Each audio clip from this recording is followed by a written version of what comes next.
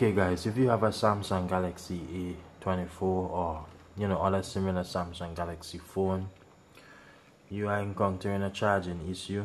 Some of the solutions in which you want to check for. First you want to check to make sure your charging port is good.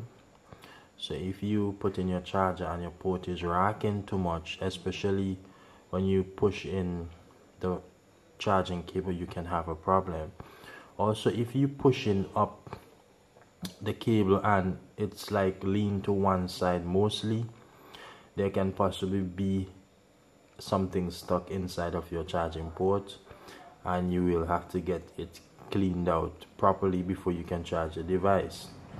Also if your phone is always on it can be it can just be a, a common issue where the motherboard is just not functioning to register the charge to the battery properly.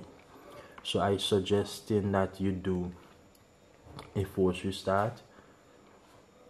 So for this to be done you want to hold down the volume down button and the power button. Let me demonstrate this to you just in case anyone will be commenting in the comment section saying that I should have shown you how to do it. So this is what you want to do. Volume down power button. You see the Samsung logo then you release all the buttons. And if your phone is still not charging then you can possibly have a more critical issue with your charging port or your device once your device is functional, most likely the issue will be with your charging port. If it is rocking, then that's the culprit. If you put the charging port one side and you see it's charging, then you know you have a faulty charging port.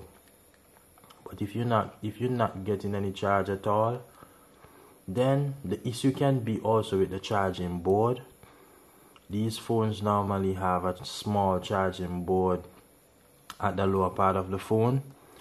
And let me see if I have any here just to give you an idea. So this is one for the A10s and normally this will be at the lower side of the phone. And there are cables that run in the back of the phone. Those cables normally run under the battery or above. So if you have dropped your phone by any means you want to just put your thumb on the back of the phone. So if any of the ribbons are dislodged in any way you can reconnect them. So those are some simple solution how you can fix your A24 not charging. And I hope that this was helpful and useful to you in some way. If it was let me know in the comment section below. My name is Lenz. Do like share and subscribe